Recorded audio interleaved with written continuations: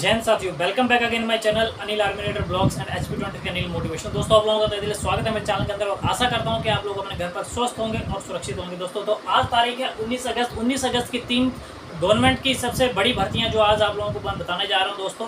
तो आप डेली मेरे चैनल के ऊपर विज़िट कीजिए, आपको डेली के जॉब के रिगार्डिंग वैकेंसीज यहाँ पर मैं डालता रहता हूँ तो आप मेरे चैनल को ज़्यादा से ज़्यादा सब्सक्राइब कर रखे ज़्यादा लोगों के साथ जो दोस्तों शेयर ज़रूर कर दें इस चैनल को, ताकि उन तक ये इन्फॉर्मेशन पहुँच गए मैं डेली दोस्तों जॉब के रिगार्डिंग यहाँ पर वीडियो डालता हूँ, ठीक है ना? आज बात करेंगे हम उन्नीस अगस्त की।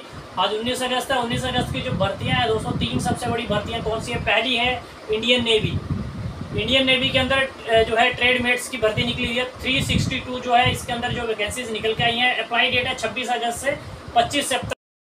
तो दोस्तों, यहाँ पर जो पे स्केल रहने वाला है, वो रहने वाला अठारह हज़ार से छप्पन हज़ार नौ सौ यहाँ पर। ठीक है?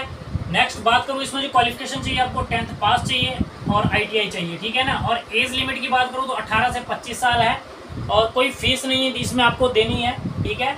और जो सिलेक्शन प्रोसेस है, उसका वो होगा आपका स्क्रीनिंग स्क्रीनिंग ऑफ़ जो है एप्लीकेशन होगा पहले, उसका बाद आपका रिटर्न एग्ज़ाम होगा और उसका डॉक्यूमेंट वेरिफिकेशन होगा। कोई फ़िज़िकल नहीं है इसके अंदर, ठीक है ना? सिर्फ़ रिटर्न एग्ज़ाम देना उसका डॉक्यूमेंट वेरिफिकेशन होगा, आपका सिलेक्शन हो जाएगा। सेकेंडली बात करते हैं हम दोस्तों Goa human resource development corporation की वैकेंसी निकल कर है। पोस्ट जो है वो एमटीएस ड्राइवर कम मैसेंजर और पर्सनल असिस्टेंट या स्टेनो सेक्रेटरी की जो वैकेंसी निकल कर आई है यहाँ पर, ठीक है? तो वैकेंसी की बात करूँ, इसके अंदर तो 370 वैकेंसी निकल कर आई हैं। ठीक है डेट ऑफ़ इंटरव्यू की बात करूँ तो एमटीएस का जो इंटरव्यू है, वो 28 अगस्त 2023 को होने वाला है। ठीक है, और इसी तरह जो है जो एग्ज़ाम जो पर्सनल असिस्टेंट या आपका जो स्टेनो सेक्रेटरी है, उसका जो इंटरव्यू रहने वाला है, वो, या फिर वो ड्राइवर का है, वो उनतीस तारीख को होने वाला है। ठीक है उनतीस अगस्त को होगा ड्राइवर और पर्सनल असिस्टेंट का। पे स्केल की बात करूँ, इसमें तो एमटीएस की जो है पेमेंट इसमें चौदह हज़ार है। पर्सनल असिस्टेंट है, उसकी ट्वेंटी थाउज़ेंड है और ड्राइवर की जो है सिक्सटीन थाउज़ेंड यानी सोलह हज़ार है। इसमें क्वालिफिकेशन आपको टेंथ पास चाहिए एम और ड्राइवर के लिए और पीए के लिए आपको चाहिए यहाँ पर डिग्री ठीक है? एज लिमिट की बात करूँ यहाँ पर तो रहने वाले अठारह से पैंतालीस साल। ठीक है? फ़ीस की बात करूँ तो कोई फ़ीस नहीं है। सिलेक्शन प्रोसेस की बात करूँ, आपको इंटरव्यू के अंदर जाना है, आपका स्किल वहाँ पर टेस्ट चेक किया जाएगा, कोई एग्ज़ाम नहीं है इसके अंदर। ठीक है? ये थी दो वैकेंसी ऊपर की, अब लास्ट वैकेंसी के ऊपर आ जाते हैं हम तीसरी के ऊपर। ठीक है?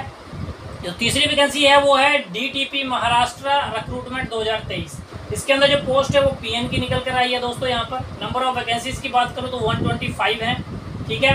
पे स्केल की बात करूँ यहाँ पर 15000 से जो रहने वाली है, उनचास रहने वाली है। अप्लाई डेट है वो 20 सितंबर से स्टार्टिंग है, इसका अप्लाई डेट क्वालिफिकेशन की बात करूँ दोस्तों यहाँ पर तो टेंथ पास चाहिए सिर्फ़। और एज की बात करूँ तो अठारह से पचास ईयर चाहिए, अठारह से पचास ईयर ठीक है?